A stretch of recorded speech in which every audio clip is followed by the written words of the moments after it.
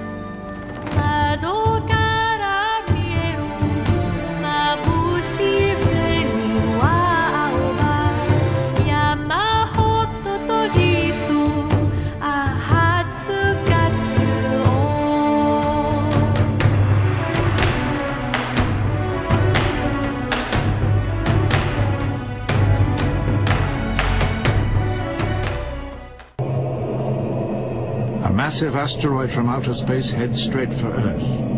It's as large as the one that impacted over 4 billion years ago. This computer simulation has been made with the scientific advice of geophysical experts to show the effects if the impact were to happen today.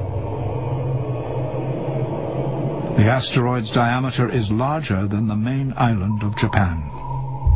Even though it is moving at over 720,000 kilometers an hour, that's almost 450,000 miles an hour, the asteroid appears eerily slow because of its size. The actual impact happens in the Pacific Ocean, just under a thousand miles south of Japan.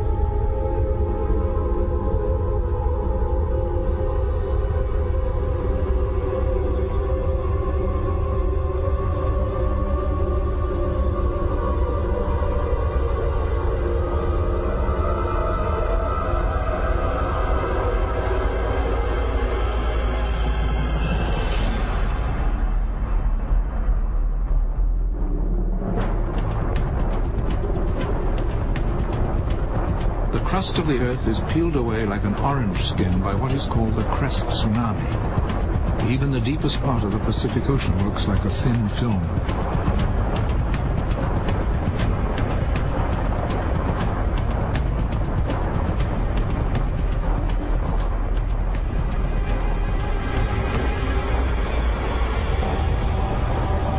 Huge chunks of debris the size of city blocks are hurled into the air. The entire Japanese archipelago is disintegrated, as is some of the Asian continent.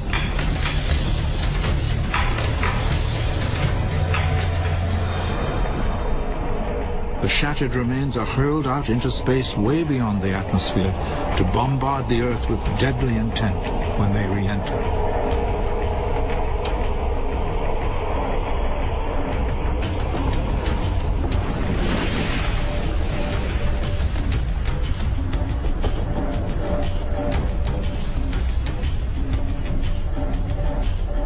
At 7,000 meters, 23,000 feet, the rim of the crater is higher than many mountains on Earth today.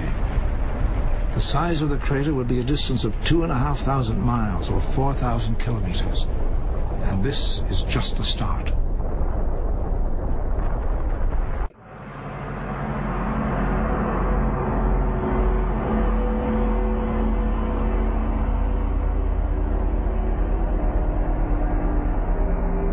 Moments after the impact, rock vapor, the temperature of the sun, begins to engulf the world. Could any life at all survive this impact?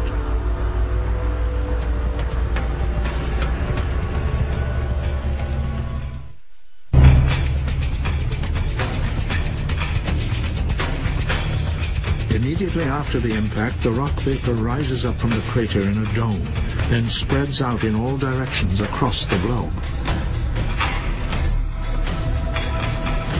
Three hours after the impact south of Japan, the expanding wall of vaporized rock reaches the mountains of the Himalayas.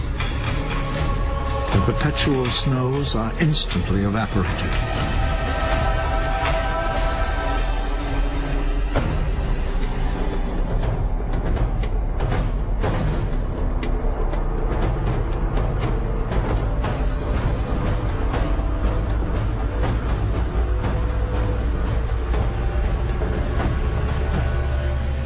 Soon the wall of fire reaches the Amazon, the furthest distance from the point of impact. The forest spontaneously combusts even before the rock vapor arrives.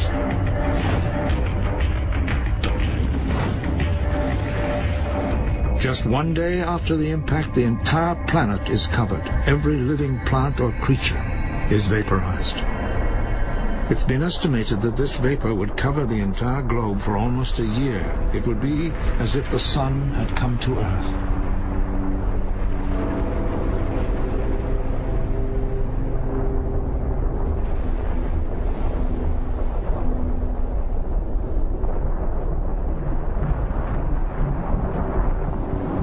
The ocean would start to bubble and boil.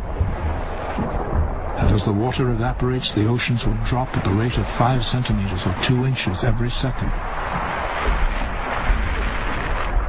Even the salt deposited on the ocean floor vaporizes, and when the very bottom of the sea melts, nothing is left untouched.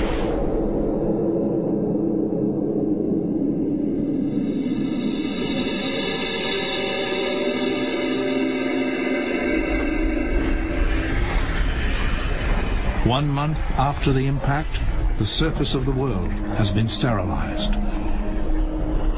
The oceans have vanished. All that remains is the superheated bedrock.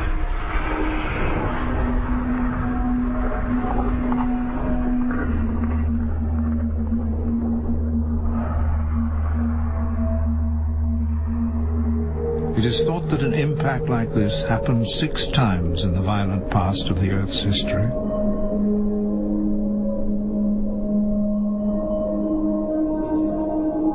If there was life, it was assumed that it too would have been wiped out, only to begin again.